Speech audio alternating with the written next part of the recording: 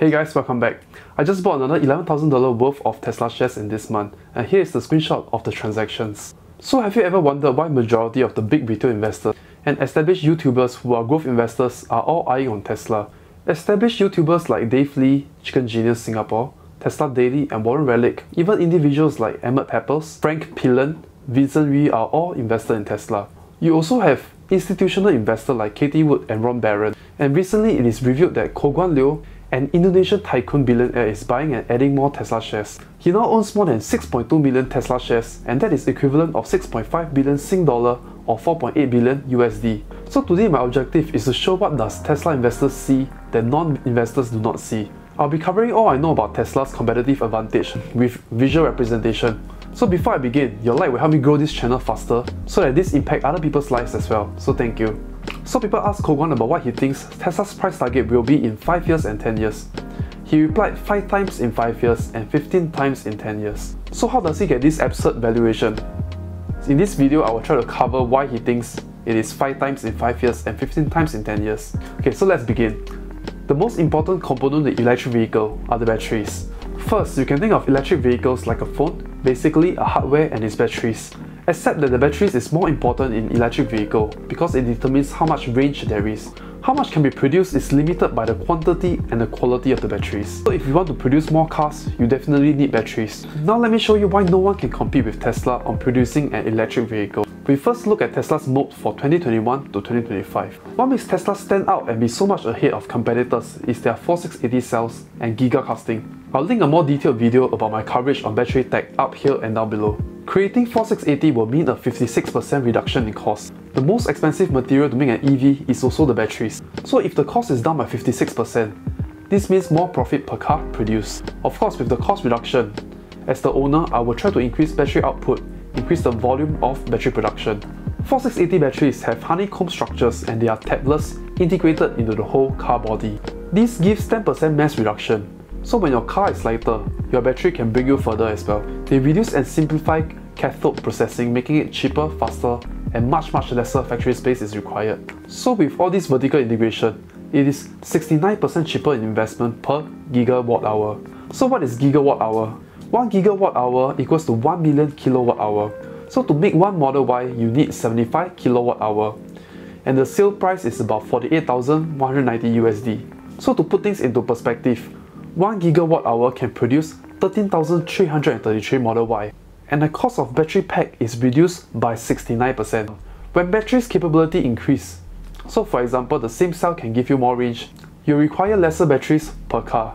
When you have more batteries, these batteries can be used to produce more cars. So more cars equals to more profit because people may buy full self-driving software which is the most expensive software. So the excess cars that exceed the demand can be used as robotaxi which has the highest profit margin. Because the car is 24-7 operational, no petrol needed, minimal maintenance and no driver. Next, let's talk about gigacasting. They combine 370 parts into one single piece uh, and no more building the joint parts. Those machines that helps to assemble the 370 parts is no longer needed too. So this results in zero human labor, zero machine needed, which also means more factory space is created. Gigacasting is also much cheaper and faster, and competitors cannot compete because special alloy is needed and the material science behind the special alloy is done by SpaceX engineers. So the conclusion to Tesla's competitive edge from 2021 to 2025 is that the cost of revenue is reduced, the output is increased. No other companies can produce the same quantity of cars because they are limited by their batteries. Lastly, capital expenditure reduction. They spend way lesser to produce electric vehicle and they sell you the most expensive software in the world. So are you guys able to comprehend the scale of things? Hence the most important thing is the number of cars produced because this brings more people to use full self-driving and robotaxi network will be created faster. Let's talk about Tesla's moat in the future, 2026 to 2030. Here's what I think will bring Tesla to further heights. Tesla Dojo, Tesla Bot, Tesla Energy, and of course full self-driving and robotaxi. Tesla is probably the biggest robotics company at this point. They have superior AI chip which has computational power that rivals the human brain. It does not cost Tesla much to develop Tesla Bot because the neural net training is really used for full self-driving and the battery technology can be transferred to Tesla Bot too. Tesla Bot does not sleep, does not ask for pay raise, they don't ask for bonus as well and they are operational for 24-7 and I think your jobs will be replaced. I'll link my analysis of the economics of Tesla bot up here and down below. You can check it out.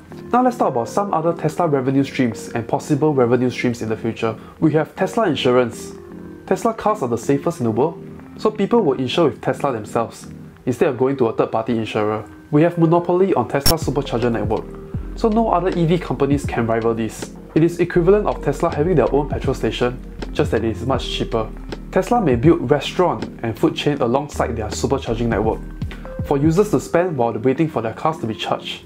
Of course, we have the EV green credit. They get lesser because they're non-unionized, but whatever. Another stream of income is when Toyota, Volkswagen may realize that they cannot catch up with full self-driving and they might license full self-driving from Tesla. So these are my breakdown of where the revenue is going to come from. Moreover, owning Tesla shares will give you discount when starting IPO too. So this video is designed for viewers who can't understand Tesla's valuation but you still have a keen interest to invest. I hope this helps you to understand everything a little clearer. So of course, Tesla might face some execution risks, but I believe engineering supremacy will prevail. Hence, this is the reason why I bought $11,000 worth of Tesla shares this month. I'll be adding more and more over the years. This company can consistently grow at 50% per year till 2030. So if you like what I've shared, do help me out by liking this video. If you want to show further support, do subscribe to my channel and ring the bell button. Thank you. I'll see you next week.